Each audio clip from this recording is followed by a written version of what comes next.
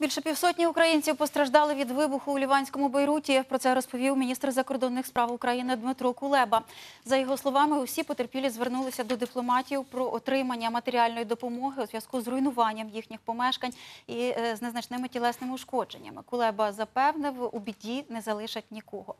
Нагадаю, у ліванській столиці рвонуло 4 серпня у порту. Попередньо від іскри зайнялася аміачна селітра, котра там зберігалася. Внаслідок цього стався вибух, еквівалентний детонації двох тисяч тонн тротилу.